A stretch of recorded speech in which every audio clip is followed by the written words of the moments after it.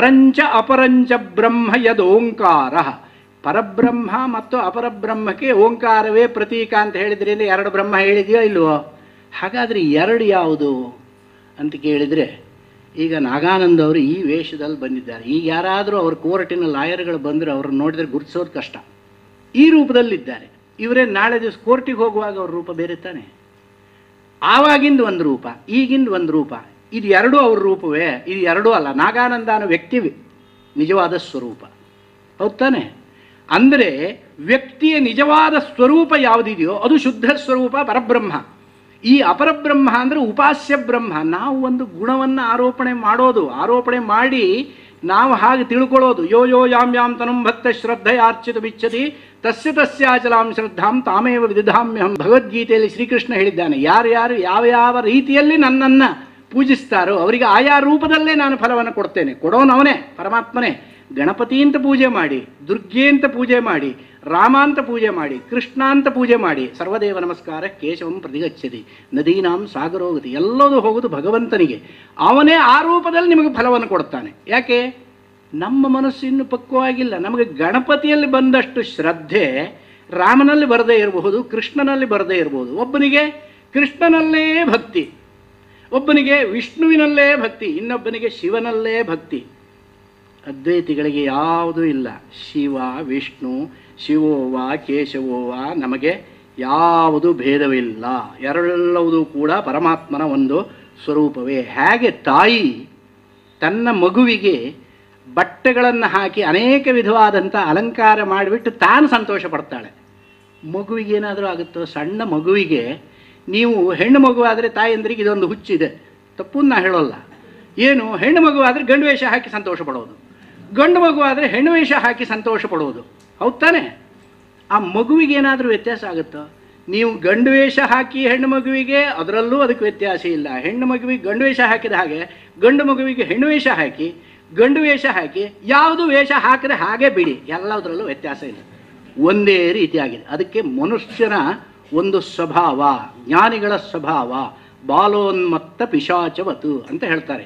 ಬಾಲಕನ ಮನಸ್ಸು ಅಂದರೆ ಶಿಶುವಿನ ಮನಸ್ಸು ಹೇಗೆ ನಿರ್ವಿಕಾರವಾಗಿರುತ್ತೋ ಹಾಗೆ ಪರಮಾತ್ಮ ಸ್ವರೂಪ. ಅದಕ್ಕೆ ನಾವು ಆರೋಪಣೆ ಮಾಡಿಬಿಟ್ಟು ಒಂದು ರೂಪವನ್ನು ಕಲ್ಪಿಸಿದಾಗ ಆ ಪರಮಾತ್ಮ ಅಪರಬ್ರಹ್ಮ ಆಗ್ತಾನೆ. ಆ ಪರಮಾತ್ಮನಿಗೆ ತ್ರಿಶೂಲ ಡಮರುಗಧಾರಿ ಅಂತ ಹೇಳಿದಾಗ ಅವನು ಈಶ್ವರ ಅಂತ ಆಗ್ತಾನೆ, ಶಿವ ಅಂತ ಆಗ್ತಾನೆ. ಶಂಖಚಕ್ರ ಗದೆಯನ್ನು ಕೊಟ್ಟಾಗ ವಿಷ್ಣು ಅಂತ ಆಗ್ತಾನೆ. ಇಲ್ಲ, ಅವನು ಕಮಲದ ಮೇಲೆ ಕೂರಿಸಿಬಿಟ್ರೆ ಸೃಷ್ಟಿಕರ್ತ ಅಂತ ಹೇಳಿದ್ರೆ ಬ್ರಹ್ಮ ಅಂತ ಬ್ರಹ್ಮ, ವಿಷ್ಣು, ಮಹೇಶ್ವರ ಬೇರೆ ಅಲ್ಲ, ಅಷ್ಟು ಒಬ್ಬನೇ. ಪರಮಾತ್ಮನದ್ದೇ ಒಂದೇ ರೂಪ. ಈಗ ಒಬ್ಬನೇ ವ್ಯಕ್ತಿ ಒಂದು ನಾಟಕದಲ್ಲಿ ಮೂರು ಪಾತ್ರವನ್ನು ಮಾಡಿದಾಗ ಪ್ರೇಕ್ಷಕರೆಲ್ಲ ಹೇಳ್ತಾರೆ, ಅವನ ಅಭಿನಯಕ್ಕೆ ಬೆರಗಾಗಿ ಬಹಳ ಚೆನ್ನಾಗಿ ಮಾಡ್ತಾ ಇದ್ದಾನೆ. ಆಂಜನೇಯರ ಪಾತ್ರನೂ ಚೆನ್ನಾಗಿ ಮಾಡಿದ. ಈಗ ನೋಡಿದರೆ ಇಲ್ಲಿ ವಿಭೀಷಣನ ಪಾತ್ರವನ್ನು ಚೆನ್ನಾಗಿ ಮಾಡ್ತಾ ಇದ್ದಾನೆ. ಮೊದಲು ಸೂತ್ರಧಾರವನ್ನು ಚೆನ್ನಾಗಿ ಮಾಡಿದ. ಅವನು ಯಾರು ಅಂತ ಕೇಳ್ತೀರ? ಅವನು ಗೊತ್ತಿದೆ ತಾನೆ, ವಿಭೀಷಣ ತಾನೆ ಗೊತ್ತಿದೆ. ಇಲ್ಲ, ಅದು ಆಹಾರ್ಯ ರೂಪ, ಕಲ್ಪಿತವಾದ ರೂಪ. ಅವನು ಯಾರು ಅಂತ ಪ್ರಶ್ನೆ ಮಾಡ್ತೀನಿ. ಅವರು ಅವರು ಇಂಥವರು. ಅವನ ಹೆಸರು ನಾಗರಾಜ. ಏನು ಒಂದು ಹೆಸರು ಹೇಳ್ತೀರ. ಅದು ಅವನ ಸ್ವರೂಪ. ಹಾಗೆ ಪರಬ್ರಹ್ಮ ಉಪಾಸ್ಯ ರೂಪದಲ್ಲಿ ಇದ್ದಾಗ ಉಪಾಸ್ಯ ರೂಪದ ಬ್ರಹ್ಮನಿಗೆ ಅಪರಬ್ರಹ್ಮ, ಸಗುಣ ಬ್ರಹ್ಮ, ಸವಿಶೇಷ ಬ್ರಹ್ಮ ಎಂಬುದಾಗಿ ಹೇಳುವಂತಹದ್ದು ಅದಕ್ಕೆ ಉಪಾಸನಾ ಮಾರ್ಗವನ್ನು ಅನುಸರಿಸಬೇಕು ಅಂತ ಈ ಉಪಾಸನೆಗಳನ್ನೆಲ್ಲ ಹೇಳಿಬಿಟ್ಟು ಆಚಾರ್ಯನಾದವನು ಉಪಾಸನೆಯನ್ನು ಹೇಳಿದ ನಂತರ ಶಿಷ್ಯನಿಗೆ ಉಪದೇಶ ಮಾಡ್ತಾನೆ. ಹಾಗಾದರೆ ಕರ್ಮಗಳನ್ನು ಮಾಡಬೇಕಾಗಿಲ್ವಲ್ಲ? ಜ್ಞಾನವನ್ನು ಮಾತ್ರ ಮಾಡಿದರೆ ಸಾಕು, ಕರ್ಮಗಳನ್ನು ಬಿಡಬಹುದಲ್ಲ ಅಂತ ಕೇಳಿದ್ರೆ ಇದೊಂದು ಗ್ರಾಚಾರ. ವೇದಾಂತ ಓದ್ದವರೆಲ್ಲ ಕರ್ಮ ಬಿಟ್ಟುಬಿಟ್ರೆ. ಯಾಕೆ? ಜ್ಞಾನದಿಂದ ಮೋಕ್ಷ ಅಂತ ಹೇಳಿದ್ದಾರೆ. ಕರ್ಮ ಬೇಕಾಗಿಲ್ಲ. ಅದು ಇಲ್ಲವೇ ಇಲ್ಲ. ಕರ್ಮ ಮಾಡಲೇಬೇಕು. ಕರ್ಮವನ್ನು ಬಿಡುವುದಕ್ಕೆ ಸಾಧ್ಯವೇ ಇಲ್ಲ. ಅದಕ್ಕೋಸ್ಕರವಾಗಿ ಉಪದೇಶ ಮಾಡುತ್ತಾರೆ ಋತಂಚ ಸ್ವಾಧ್ಯಾಯ ಪ್ರವಚನೇ ಚ ಸತ್ಯಂಚ ಸ್ವಾಧ್ಯಾಯ ಪ್ರವಚನೇ ಚ ಇತ್ಯಾದಿಯಾಗಿ ಎಲ್ಲವನ್ನೂ ಹೇಳಿಬಿಟ್ಟು ಪ್ರಜಾಚ ಸ್ವಾಧ್ಯಾಯ ಪ್ರವಚನೇ ಚ ಪ್ರಜನಶ್ಚ ಸ್ವಾಧ್ಯಾಯ ಪ್ರವಚನೇ ಚ ಎಲ್ಲವನ್ನೂ ಹೇಳಿಬಿಟ್ಟು ಸತ್ಯಾನ್ನ ಪ್ರಮದಿತವ್ಯಂ, ಕುಶಲಾನ್ನ ಪ್ರಮದಿತವ್ಯಂ, ಭೂತ್ಯೇನ ಪ್ರಮದಿತವ್ಯಂ, ಸ್ವಾಧ್ಯಾಯ ಪ್ರವಚನಾಭ್ಯಾಂ ನ ಪ್ರಮದಿತವ್ಯಂ ದೇವಪಿತೃಕಾರ್ಯಾಭ್ಯಾಂ ನ ಪ್ರಮದಿತವ್ಯಂ ಇಲ್ಲಿವರೆಗೆ ಹೇಳಿದ್ದು. ಅಂದ್ರೆ ಏನು? ಕರ್ಮಕ್ಕೆ ಪ್ರಾಧಾನ್ಯವನ್ನು ಕೊಟ್ಟೇ ಹೇಳಿದ್ದು, ಕರ್ಮವನ್ನು ಮಾಡಿ, ಬಿಡಬೇಡಿ. ಜ್ಞಾನದಿಂದ ಮೋಕ್ಷ ಅಂತ ಹೇಳಿದ ಮಾತ್ರಕ್ಕೆ ಕರ್ಮವನ್ನು ಬಿಡಬೇಕು ಅಂತ ಅರ್ಥವಲ್ಲ. ಕರ್ಮವನ್ನು ಮಾಡಿ. ಹೇಗೆ ಮಾಡಬೇಕು? ಯೋಗಿಗಳಾಗಿ ಕರ್ಮವನ್ನು ಮಾಡಿ. ಯೋಗಿಗಳಾಗಿ ಕರ್ಮ ಮಾಡೋದು ಅಂದರೆ ಜಟೆ ಬಿಟ್ಕೋಬೇಕೆ? ಭಸ್ಮದ ಬಳ್ಕೋಬೇಕೆ ಅಂತ ಕೇಳಿದ್ರಿ. ಅವರು ಯೋಗಿಗಳಲ್ಲ. ಯೋಗಿ ಅಂತ ಹೇಳಿದ್ರಿ ಯಾರು ಅಂತ ಕೇಳಿದರೆ, ಕರ್ಮವನ್ನು ಮಾಡುವಾಗ ಆ ಕರ್ಮದ ಫಲದ ಬಗ್ಗೆ ಚಿಂತೆ ಮಾಡದೆ, ಫಲಾಫಲ ಚಿಂತೆಗಳನ್ನು ಪರಮಾತ್ಮನಿಗೆ ಬಿಟ್ಟು, ಇದು ನಾನು ಮಾಡಬೇಕಾದ್ದು ಕರ್ತವ್ಯ ಬುದ್ಧಿಯಿಂದ ಕರ್ಮವನ್ನು ಮಾಡಿದರೆ, ಆ ಯೋಗಕ್ಷೇಮವನ್ನು ಅವನು ನೋಡ್ಕೊಳ್ತಾನೆ. ಯೋಗಕ್ಷೇಮಂ ವಹಾಮ್ಯಹಂ. ನಿನಗ್ಯಾಕೆ ಚಿಂತೆ? ನಿನ್ನ ಆ ಮಾಡಿದ ಕರ್ಮದ ಫಲದ ಚಿಂತೆಯನ್ನು ನಾನು ನೋಡ್ಕೊಳ್ತೇನೆ.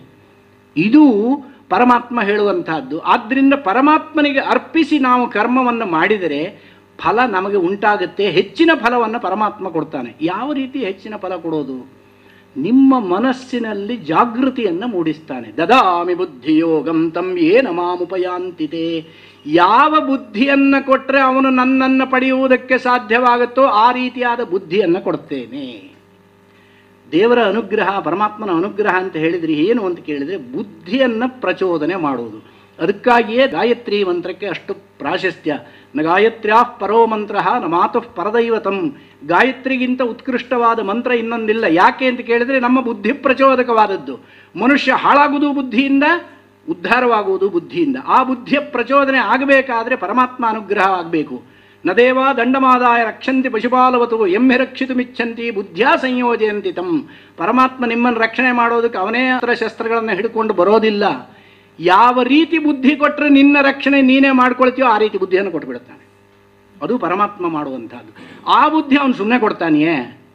ಅವನ ಕಡೆ ನೀನು ತಿರುಗೇ ನೋಡದೇ ಇದ್ದರೆ ಅವನಿಗೆ ಪಡೆಯುವುದಕ್ಕೆ ಯಾವ ಮಾರ್ಗಗಳನ್ನು ಹೇಳಿದ್ದಾರೋ ಆ ಮಾರ್ಗಗಳನ್ನು ಅನುಸರಿಸದೇ ಇದ್ದರೆ ಅವನು ಯಾಕೆ ಯೋಚನೆ ಮಾಡ್ತಾನೆ? ಅದಕ್ಕೋಸ್ಕರವಾಗಿ ಪರಮಾತ್ಮ ಸುಪ್ರೀತನಾಗಲಿ ಅನ್ನುವ ದೃಷ್ಟಿಯಿಂದ ಅವನಿಗೆ ಪ್ರೀತಿಯಾಗಲಿ ಎನ್ನುವ ದೃಷ್ಟಿಯಲ್ಲಿ ಕರ್ಮವನ್ನು ಮಾಡಿ.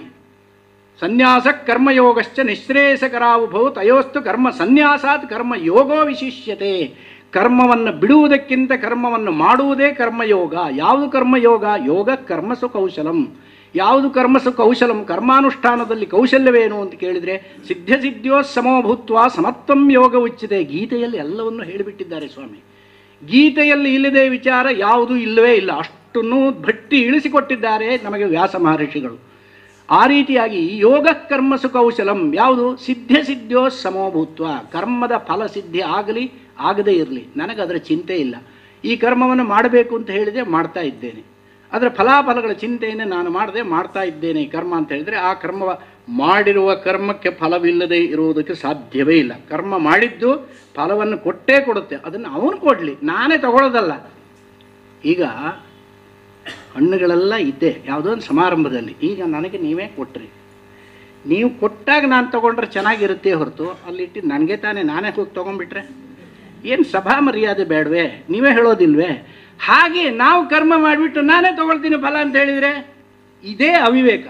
ಅದಕ್ಕೋಸ್ಕರವಾಗಿ ಕಾಮ್ಯ ಕರ್ಮವನ್ನು ಮಾಡಬೇಡಿ. ಮಾಡಿರುವ ಕರ್ಮವನ್ನು ಪರಮಾತ್ಮನಿಗೆ ಅರ್ಪಿಸಿ ಮಾಡಿ. ಅದು ಕೌಶಲ, ಅದು ಯೋಗ. ಆ ರೀತಿಯಾಗಿ ಮಾಡಿದರೆ ಯತ್ ಸಾಂಖ್ಯೈ ಪ್ರಾಪ್ಯತೆ ಸ್ಥಾನಂ ತದ್ ಯೋಗೈರಪಿ ಗಮ್ಯತೆ.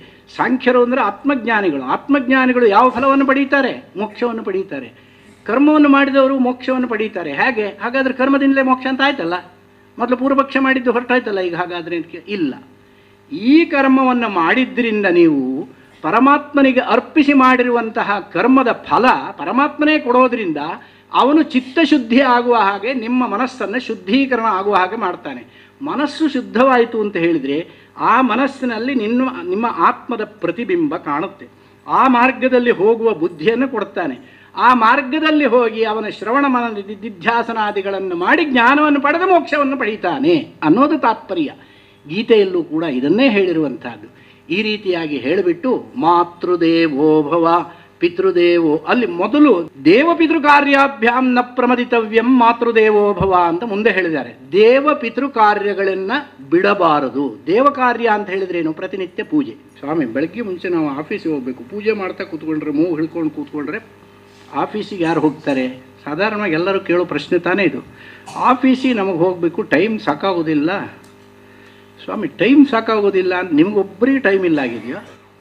ಎಲ್ಲರಿಗೂ ಭಗವಂತ ದಿನದಲ್ಲಿ ಇಪ್ಪತ್ನಾಲ್ಕು ಗಂಟೆ ಕೊಟ್ಟಿದ್ದಾನೆ. ನಿಮಗೂ ಅದೇ ತಾನೇ ಕೊಟ್ಟಿರೋದು ನನಗೂ ಅದೇ ಕೊಟ್ಟಿರೋದು, ಅವರಿಗೂ ಅದೇ ಕೊಟ್ಟಿರೋದು. ಎಲ್ಲರಿಗೂ ಇಪ್ಪತ್ನಾಲ್ಕು ಗಂಟೆ ಕೊಟ್ಟಿದ್ದಾನೆ. ಇಪ್ಪತ್ನಾಲ್ಕು ಗಂಟೆಲಿ ಆಫೀಸ್ ಕೆಲಸ ಎಷ್ಟೊತ್ತಿರುತ್ತಪ್ಪ? ಮಹಾ ಅಂದರೆ ಹನ್ನೆರಡು ಗಂಟೆ ಇರಬಹುದಾ? ಹದಿನೈದು ಗಂಟೆಯೂ ಇರಬಹುದಾ? ಯಾರೋ ಒಬ್ಬಿಬ್ಬರಿಗೆ ಹಾಗಿರಬಹುದೇ ಹೊರತುನುವೆ. ಸಾಮಾನ್ಯವಾಗಿರುವುದು ಹತ್ತು ಗಂಟೆ ಕಾಲ ಇರುತ್ತದೆ, ಎಂಟು ಗಂಟೆ ಕಾಲ ಇರ್ತದೆ ಬಾಕಿ ಉಳಿದ ಸಮಯದಲ್ಲಿ ನಿದ್ದೆ ಮಾಡೋದಕ್ಕೆ ತುಂಬ ಸಮಯ ಬೇಕಲ್ಲ. ಎಷ್ಟೊತ್ತು ನಿದ್ದೆ ಮಾಡ್ತೀರಿ? ಎಂಟು ಗಂಟೆ ನಿದ್ದೆ ಮಾಡ್ತೀರಾ? ಎಂಟು ಗಂಟೆ ಆಫೀಸ್ ಕೆಲಸ ಆಯಿತು ಹದಿನಾರು ಗಂಟೆ. ಇನ್ನು ಎಂಟು ಗಂಟೆ ಇದೆಯಲ್ಲ. ಆ ಎಂಟು ಗಂಟೆಯಲ್ಲಿ ಸ್ವಾಮಿ ಊಟ ಮಾಡೋದು, ಸ್ವಲ್ಪ ವಿಶ್ರಾಂತಿ ತಗೊಳ್ಳೋದು, ಹಾಂ, ಅದಕ್ಕೊಂದು ಎರಡು ಮೂರು ಗಂಟೆ ಹೋಯಿತು. ಮತ್ತೆ ಬಾಕಿ ಉಳಿದಕ್ಕೆ ಸ್ವಾಮಿ ಏನು ಮಾಡಬೇಕು? ಇನ್ನೊಂದು ಮೂರು ಗಂಟೆ ಉಳಿದಿದೆಯಲ್ಲ, ಮೂರು ಗಂಟೆಯಲ್ಲಿ ಏನು ಮಾಡ್ತೀರಿ? ಅಯ್ಯೋ ಪೇಪರ್ ಓದಬೇಕು, ಮಕ್ಕಳಿಗೆ ಎಜುಕೇಷನ್ನು ಅವರಿಗೆ ಟ್ಯೂಷನ್ ಹೇಳಿಸ್ಬೇಕು, ಅಥವಾ ಪಾಠ ಹೇಳಬೇಕು ಹೋಮ್ವರ್ಕ್ ಮಾಡಿಸ್ಬೇಕು, ಅಡುಗೆ ಮಾಡಬೇಕು, ಊಟ ಮಾಡಬೇಕು, ಸ್ವಲ್ಪ ಹೊತ್ತಾದರೂ ಒಂದು ಸ್ವಲ್ಪ ನಮಗೆ ಮನೋರಂಜನೆ ಬೇಡವೆ ಟಿ ವಿ ನೋಡೋದು ಬೇಡವೆ. ಸ್ವಾಮಿ, ನಿಮಗೆ ಪೂಜೆ ಮಾಡೋದಕ್ಕೆ ಒಂದಕ್ಕೆ ಟೈಮ್ ಇಲ್ಲ, ಮತ್ತೆಲ್ಲದಕ್ಕೂ ಟೈಮ್ ಇದೆ. ಎಲ್ಲದಕ್ಕೂ ನೀವು ಟೈಮ್ ಮಾಡ್ಕೊಳ್ತೀರಿ ಹೌದಲ್ವಾ ಎಲ್ಲದಕ್ಕೂ ಟೈಮ್ ಮಾಡ್ಕೊಳ್ತೀರಿ ಪೂಜೆ ಮಾಡೋದಕ್ಕೊಂದು ಟೈಮ್ ಇಲ್ಲ ಸಂಧ್ಯಾ ವಂದನೆ ಮಾಡೋದಕ್ಕೆ ಟೈಮ್ ಇಲ್ಲ, ಸ್ತೋತ್ರ ಹೇಳೋದಕ್ಕೆ ಟೈಮ್ ಇಲ್ಲ. ಆರು ಗಂಟೆ ಆಯಿತು ಅಂತ ಹೇಳಿದ್ರೆ ಏನೋ ಅಷ್ಟು ಬರ್ತಾವೆ. ಇದರ ಮುಂದೆ ಕೂತ್ಕೊಂಡು ಜೀವನವನ್ನು ಹಾಳು ಮಾಡಿಕೊಳ್ಳುವಂಥದ್ದು ಯಾವುದು ಸಿಗುತ್ತೆ? ಬೇಕು, ಮನುಷ್ಯನಿಗೆ ಮನೋರಂಜನೆ ಬೇಕು. ಮನಸ್ಸು ಜಾಡ್ಯವನ್ನು ಹಿಡಿಯಬಾರ್ದು. ಮನೋರಂಜನೆ ಬೇಕು. ಆದರೆ ಅದೇ ಅತಿಯಾಗಬಾರ್ದು. ಅತಿ ಸರ್ವತ್ರ ವರ್ಜಯೇ. ಅತಿಯಾಗಿ ಬಿಟ್ಟರೆ ಅಮೃತವೂ ವಿಷ ಅಂತ ಹೇಳ್ತಾರೆ. ನೀವು ಆಕ್ಸಿಜನ್ ಬೇಕು ಮನುಷ್ಯನಿಗೆ ಜೀವನಕ್ಕೆ, ಅದು ಅತಿಯಾಗಿ ಬಿಟ್ಟರೆ ಅವನೇ ಸತ್ತೋಗ್ಬಿಡ್ತಾನೆ. ಅದು ಕೂಡ ಜಾಸ್ತಿ ಆಗಬಾರ್ದು. ಯಾಕೆ? ಲೈಫ್ ಅಂತ ಹೇಳಿದ್ರೆ it is nothing but balancing act ಯಾವುದು ಜಾಸ್ತಿ ಆದರೂ ಅವನು ಬದುಕೋಲ್ಲ, ಕಮ್ಮಿ ಆದರೂ ಬದುಕೋಲ್ಲ. ಮಧ್ಯದಲ್ಲಿರಬೇಕು. ಬಿ ಪಿ ಜಾಸ್ತಿ ಆದರೂ ಬದುಕೋಲ್ಲ, ಕಮ್ಮಿ ಆದರೂ ಬದುಕೋಲ್ಲ. ಮಧ್ಯದಲ್ಲಿ ಶುಗರ್ ಜಾಸ್ತಿಯೂ ಆಗಬಾರ್ದು, ಕಮ್ಮಿನೂ ಆಗಬಾರ್ದು. ಆ ಜೀವನ ಅನ್ನುವಂಥದ್ದು ಈ ರೀತಿಯಾಗಿ ಇರುವಾಗ ನಾವು ಅತಿಯಾಗಿ ಮಾಡೋದಕ್ಕೆ ಹೋದಾಗ ನಮಗೆ ಸಮಯ ಇಷ್ಟು ಇಪ್ಪತ್ನಾಲ್ಕು ಗಂಟೆಯಲ್ಲಿ ಅರ್ಧ ಗಂಟೆ ಸಮಯ ಸಿಗೋಲ್ಲ ಸ್ವಾಮಿ. ಹತ್ತು ನಿಮಿಷ ಸಿಗೋಲ್ವೇ? ಹತ್ತು ನಿಮಿಷ ನಾವು ಟೈಮ್ ಮಾಡಿಕೊಂಡ್ರೆ. ನೀವು ಆರು ಗಂಟೆಗೆ ಆಫೀಸಿಗೆ ಹೋಗ್ಬೇಕೆ? ಐದು ಗಂಟೆಗೆ ಹೇಳಿ. ನಿದ್ದೆ ಕಮ್ಮಿ ಮಾಡ್ಕೊಳಕ್ಕಾಗಲ್ಲ. ಅದಾಗೋದಿಲ್ಲ. ಶಾಸ್ತ್ರ ಹೇಳುವಂಥದ್ದೇ ನಿನಗೆ ಕೊಟ್ಟಿರುವ ಸಮಯದಲ್ಲಿ ಅಲ್ಪ ಸ್ವಲ್ಪವಾದರೂ ಕೂಡ ಈ ಕಡೆಗೆ ತಿರುಗಿ ನಿಲ್ಲುವಂತಹ ಪ್ರಯತ್ನ ಮಾಡಿದರೆ ಇಹಚೇದ ಚೇದವೇದಿ ರಥನತ್ ಸತ್ಯಮಸ್ತಿ. ನ ಚೇದಿಹಾವೇದೀನ್ ಮಹತೀ ವಿನಷ್ಟಿ. ನಮಗೆ ಸಿಕ್ಕಿರುವಂತಹದ್ದು ಈ ಒಂದು ಮನುಷ್ಯ ಜನ್ಮ. ಪುನಃ ಯಾವಾಗ ಮನುಷ್ಯ ಜನ್ಮ ಬರುತ್ತೆ ನಮಗೆ ಗೊತ್ತಿಲ್ಲ. ಪುಣ್ಯೋ ವೈ ಪುಣ್ಯೇನ ಕರ್ಮಣ ಭವತಿ ಪಾಪ ಪಾಪೇನ ಉಭಾಭ್ಯಾಮಯವ ಮನುಷ್ಯಲೋಕಂ ಯಾವಾಗ ಪುಣ್ಯದ ಆಧಿಕ್ಯವಾಯಿತೋ ದೇವತಾ ಜನ್ಮ ಬರುತ್ತೆ. ಅದು ಅತ್ಯಂತ ಪಾಪ ಮಾಡಿದಾಗ ಅವನಿಗೆ ತಿರ್ಯಕ್ ಜನ್ಮ ಬರುತ್ತೆ, ಪ್ರಾಣಿ ಜನ್ಮ ಬರುತ್ತೆ. ಉಭಾಭ್ಯಾಂ ಪುಣ್ಯಪಾಪಾಭ್ಯಾಂ ಮಾನುಷ್ಯಂ ಲಭತೆ ವಶಃ ಪುಣ್ಯಪಾಪ ಎರಡು ಸಮಾನವಾಗಿದ್ದಾಗ ಫಿಫ್ಟಿ ಫಿಫ್ಟಿ ಬಂದಾಗ ಮನುಷ್ಯ ಜನ್ಮ ಬರುತ್ತೆ. ಈಗ ಈ ಜನ್ಮ ಕಳೆಯಿತು ಅಂತ ಹೇಳಿದರೆ ಪಾಪದ ಆಧಿಕ್ಯವಾಗಬಹುದು ಅಥವಾ ಪುಣ್ಯದ ಆಧಿಕ್ಯವಾಗಬಹುದು. ಮನುಷ್ಯ ಜನ್ಮ ಮತ್ತೆ ಬರದೇ ಇರಬಹುದು ದೇವತೆಗಳಾದರೆ ಅವರಿಗೆ ಕರ್ಮಾಧಿಕಾರ ಇಲ್ಲ. ಮನುಷ್ಯನಿಗೆ ಮಾತ್ರ ಕರ್ಮಾಧಿಕಾರ. ನಮಗೆ ಎಲ್ಲರಿಗಿಂತಲೂ ಹೆಚ್ಚಿನ ಒಂದು ಸೌಲಭ್ಯ ಇದೆ. ಇಂತಹ ಮನುಷ್ಯ ಜನ್ಮ ಬಂದಾಗ ಮೋಕ್ಷ ಮಾರ್ಗದ ಕಡೆಗೆ, ಮೋಕ್ಷ ಮಾರ್ಗ ಯಾಕೆ ಬೇಕಪ್ಪ? ನನಗೆ ಮೋಕ್ಷವೇ ಬೇಡ ಅಂತ ಹೇಳೋರು ಇದ್ದಾರೆ ಕೆಲವರು. ಮೋಕ್ಷವೇ ಬೇಡಪ್ಪ. ಯಾರು? ಸಾಕ್ಷಾತ್ ಮಧುಸೂದನ ಸರಸ್ವತಿಗಳೇ ಹೇಳಿದ್ದಾರೆ. ಅವ್ರು ಹೇಗೆ ನನಗೆ ಮೋಕ್ಷವೇ ಬೇಡ. ನನಗೆ ಆ ಒಂದು ಶ್ರೀಕೃಷ್ಣ ಪರಮಾತ್ಮನಲ್ಲಿ ಮನಸ್ಸು ನಿಂತರೆ ಸಾಕು. ಅದೇ ಮೋಕ್ಷ ಅಲ್ವೇ? ಅವನ ಭಕ್ತಿಗಿಂತ ನನಗೆ ಇನ್ನೇನು ಬೇಡ ಅಂತ ಹೇಳಿದರು. ಅಂದ್ರೇನು? ಅದೇ ಪ್ರಕಾರ ಅಂತರದಲ್ಲಿ ಅಳಿಯಲ್ಲ, ಮಗಳ ಗಂಡ ಅಂತ ಹೇಳ್ದಂಗಾಯ್ತು.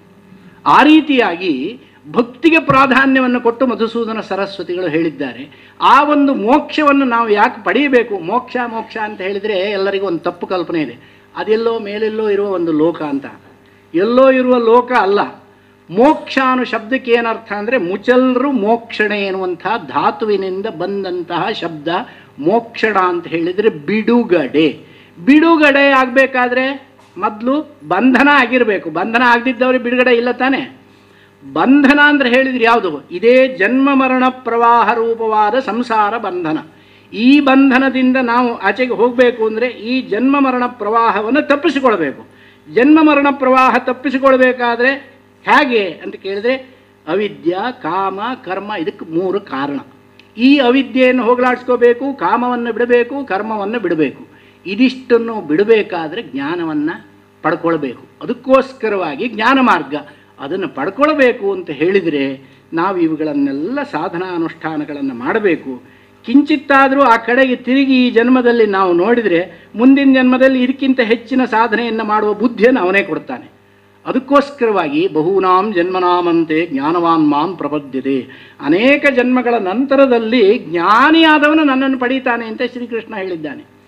ಆ ಜ್ಞಾನವನ್ನು ನಾವು ಪಡೀಬೇಕಾದರೆ ಅಲ್ಪ ಸ್ವಲ್ಪವಾದರೂ ಈ ಒಂದು ಕೆಲಸವನ್ನು ಮಾಡಬೇಕು. ಆದ್ದರಿಂದ ಇದನ್ನೆಲ್ಲ ಉಪದೇಶ ಮಾಡಿಬಿಟ್ಟು ಆನಂತರದಲ್ಲಿ ಮಾಡುವ ಕರ್ಮಗಳಲ್ಲಿ ಈ ರೀತಿಯಾದಂತಹ ಬುದ್ಧಿ ಇರಬೇಕು. ಆನಂತರದಲ್ಲಿ ಆಚಾರ. ಮಾತೃದೇವೋ ಭವ, ಪಿತೃದೇವೋ ಭವ ಆಚಾರ್ಯ ಭವ ಅತಿಥಿ ದೇವೋ ಭವ ಯಾನಿ ಅನವದ್ಯಾನಿ ಕರ್ಮಾಣಿ ತಾನಿ ಸೇವಿತವ್ಯ. ತಾಯಿಯನ್ನೇ ದೇವರು ಅಂತ ತಿಳಿಯಬೇಕು. ಮಾತಾ ದೇವ ಯಸ್ಯ ಸಹ ಮಾತೃದೇವ, ಪಿತಾ ದೇವ ಯಸ್ಯ ಸಹ ಪಿತೃದೇವ. ತಂದೆಯನ್ನು ಈ ರೀತಿಯಾಗಿ ನೋಡಬೇಕು. ಸ್ವಾಧ್ಯಾಯ ಪ್ರವಚನಗಳನ್ನು ಮಾಡಿಕೊಳ್ಳುವುದರ ಜೊತೆಗೆ ದೇವಕಾರ್ಯವನ್ನು ಬಿಡಬಾರ್ದು, ಹಾಗೆ ಪಿತೃಕಾರ್ಯವನ್ನು ಬಿಡಬಾರ್ದು. ಅದಕ್ಕೋಸ್ಕರವಾಗಿ ಅಲ್ಲಿ ಸೇರಿಸಿಬಿಟ್ಟಿದ್ದಾರೆ. ಪಿತೃಕಾರ್ಯವನ್ನು ಬಿಡಬಾರ್ದು ಅಂತ ಹೇಳಿದರೆ ಪ್ರತಿ ಸಾಂವತ್ಸರಿಕ ಶ್ರಾದ್ದವನ್ನು ಅನುಷ್ಠಾನ ಮಾಡಲೇಬೇಕು. ಪ್ರತಿಯೊಬ್ಬನು. ಸ್ವಾಮಿ, ಸತ್ತೋದವ್ರು ಎಲ್ಲೋ ಹೋಗಿರ್ತಾರೆ, ಇವ್ರು ಪಿಂಡ ಹಾಕೋದನ್ನು ಕಾಲ್ಕೊಂಡು ಕೂತಿರ್ತಾರೆ ಅವರು. ಇದ್ಯಾಕೆ ಮಾಡಬೇಕು ಶ್ರಾದ್ದವನ್ನು? ಈ ರೀತಿ ಪ್ರಶ್ನೆ ಮಾಡೋರಿದ್ದಾರೆ. ಶ್ರಾದ್ದದ ಅರ್ಥ, ಶ್ರದ್ಧೆಯಾ ಕೃತಂ ಕರ್ಮ ಶ್ರಾದ್ದಮಿತ್ಯಭಿಧೀಯತೆ. ಗತಿಸಿದಂತಹ ತಂದೆ ತಾಯಿಗಳಿಗೆ ಒಂದು ವರ್ಷದಲ್ಲಿ ಒಂದು ದಿವಸ ಹಾಕುವ ಪಿಂಡ ಇದೆಯಲ್ಲ, ಅವರು ಅದಕ್ಕಾಗಿ ಕಾದುಕೊಂಡು ಕೂತಿರ್ತಾರೆ ಅಂತ ಅರ್ಥವಲ್ಲ. ಇದು ಇವನಿಗೆ ಕರ್ತವ್ಯ, ಪುತ್ರನಾದವನಿಗೆ. ಪುತ್ರನಾದವನು ಪುತ್ರ ಅಂತ ಅನ್ಸ್ಕೊಳ್ಳೋದು ಯಾವಾಗ ಅಂತ ಕೇಳಿದರೆ ಜೀವತೋ ವಾಕ್ಯಕರಣ ಪ್ರತ್ಯಬ್ಧಂ ಭೂರಿ ಭೋಜನ ಗಯಾಯಾಮ್ ಪಿಂಡದಾನಾಚ್ಚ ತ್ರಿಭಿ ಪುತ್ರಸ್ಯ ಪುತ್ರತ, ಧರ್ಮಶಾಸ್ತ್ರದಲ್ಲಿ ಹೇಳಿದೆ. ಅವ್ರ ತಂದೆ ತಾಯಿಗಳು ಬದುಕಿದ್ದಾಗ ಅವರು ಹೇಳಿರುವ ಮಾತನ್ನು ಪರಿಪಾಲನೆ ಮಾಡುವನು ಮಗ. ಪ್ರತ್ಯಬ್ಧಂ ಭೂರಿ ಭೋಜನ ಪ್ರತಿ ಸಂವತ್ಸರಿಕದಲ್ಲಿ ಭೂರಿ ಭೋಜನವನ್ನು ಮಾಡಿಸುವವನು ಮಗ. ಗಯಾಯಾಮ್ ಪಿಂಡದಾನಾಚ್ಯ. ಗಯೆಯಲ್ಲಿ ಪಿಂಡವನ್ನು ಹಾಕುವವನು ಮಗ. ತ್ರಿಭಿಫ್ ಪುತ್ರಸ್ಯ ಪುತ್ರ. ಈ ಮೂರನ್ನು ಮಾಡಿದವನು ಪುತ್ರನಾಗ್ತಾನೆ. ಯಾಕೆ ಅಂದರೆ, ಪುನ್ನಾಮ್ನೋ ನರಕಾತ್ರಾಯತೆ ಇದೆ ಪುತ್ರ. ಪುತ್ ಅಂತ ಒಂದು ನರಕ ಇದೆ. ಅದರಿಂದ ಆ ತಂದೆ ತಾಯಿಯರನ್ನು ರಕ್ಷಣೆ ಮಾಡುವ ಅಧಿಕಾರ ಇರುವುದು ಮಗನಿಗೆ ಮಾತ್ರ.